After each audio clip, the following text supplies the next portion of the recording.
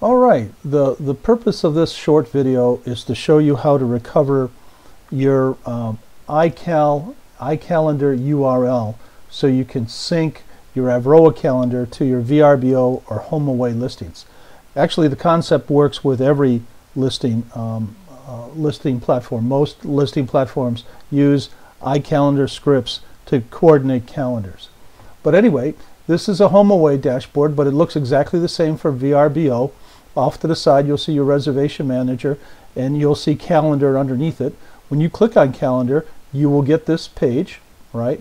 Off to the right here, you'll see these three boxes. The center box, if you put your cursor on it, it will say import export calendar.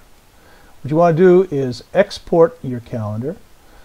This is this is very simple. Uh, the only trick to this, this is this is the iCalendar URL that you need to forward to us along with the corresponding uh, AVROA property listing number so we know which property to sync this calendar with.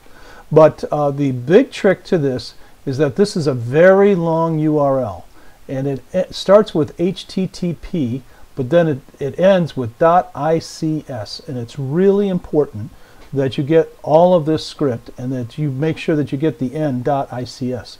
Just copy this, put it in an email along with the corresponding AVROA property listing number so we know where it's supposed to go and send that to uh, you know what whichever uh, AVROA member support specialist you're working with. All right, it's easy as that. All right, we'll see you later. Bye now.